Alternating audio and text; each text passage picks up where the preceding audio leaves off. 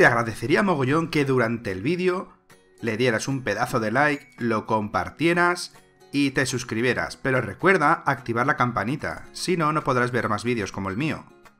Te dejo con el vídeo. I want to thank you all for being here to discuss a critical issue for our country's future. Winning the race to be the world's leading provider of 5G cellular communications networks. It's all about 5G now. We were 4G and everybody was saying we have to get 4G. And then they said, before that, we have to get 3G. And now we have to get 5G, and 5G is a big deal, and that's going to be there for a while. And I guess uh, at some point we'll be talking to you about number six. What do you think? Do you think that's true, Asia? But right now, we want to be the leader in this. We're the leader in almost everything else. And we're grateful to be joined by FCC Chairman Ajit Pai, who's been doing a fantastic job, and Deputy Secretary of Agriculture, Stephen Sensky. Thank you very much, Stephen. Appreciate it. And tell Sonny hello. He's doing a tremendous job. Really tremendous. Bueno, bueno, bueno, bueno. Lo primero, bienvenidos a Izotómico, bienvenidos a un nuevo vídeo. Hoy es un vídeo un poco triste, un poco raro para la gente que usa dispositivos Huawei, tablets, móviles, todo aquello que se conecte a Google. Como sabéis, esta semana se eh, supo que Google había zanjado la relación con eh, Huawei, marca china, tanto de fabricante tanto de hardware como de software propio, que lo hablaremos de él, pero sobre todo de redes. Redes 4G, 5G, incluso 3G creo que tenían también. Y eso es lo que a Estados Unidos, como habéis visto en las imágenes de antes, sobre todo a Trump, no le ha gustado. ¿Por qué? Porque tecnológicamente han avanzado mucho más que muchas empresas estadounidenses o incluso que el propio gobierno estadounidense que por ahí van los tiros y no le ha gustado. Estados Unidos sigue, resumiendo mucho porque es una trama de política, 5G, tal y cual, ellos siguen pensando que Huawei han sacado esta red para seguir espiando a Estados Unidos a nivel político, a nivel económico, bueno, unas grandes movidas. Total, que ha dicho, vale, pues muy bien, ¿qué va a pasar?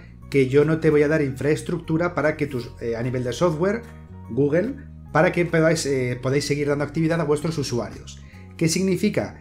Que les ha dado tres meses, o sea, el 19 de agosto, exacto, eh, Google va a cerrar el grifo a lo que es Huawei, con lo cual los dispositivos no van a poder actualizar a Android 10 y entonces ahí van a tener un problema de parches de seguridad que no van a tener, actualizaciones no van a tener, aplicaciones van a dejar de funcionar, eh, accesos a Play Store no van a tener, o sea, va a ser una movida bastante gorda. La gente de Huawei, la gente que tiene el mismo móvil Huawei, debería estar asustada. Hombre, tanto como asustada, mm, yo diría que no. Pero si se pueden cambiar de marca de móvil, yo personalmente lo haría. Es verdad, mucha gente dirá, bien, Huawei son chinos, pero ¿por qué otras marcas chinas como por ejemplo Oppo o Xiaomi, que Xiaomi es el rey de ventas, no les afecta? Pues por, este, por esta infraestructura o este despliegue de redes, sobre todo de redes móviles, en, este caso 5G.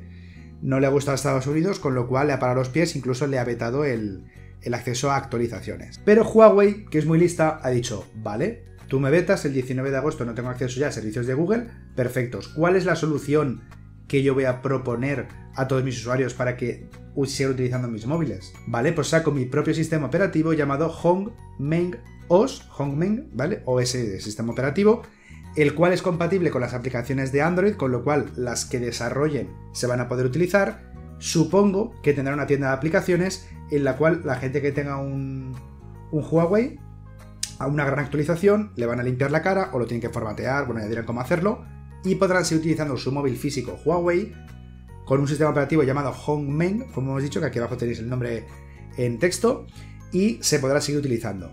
Va a ser un problemón porque realmente muchas aplicaciones o muchos programadores, hasta que realmente se pongan las pilas y conviertan las aplicaciones en Hongmeng, eh, va a tardar bastante.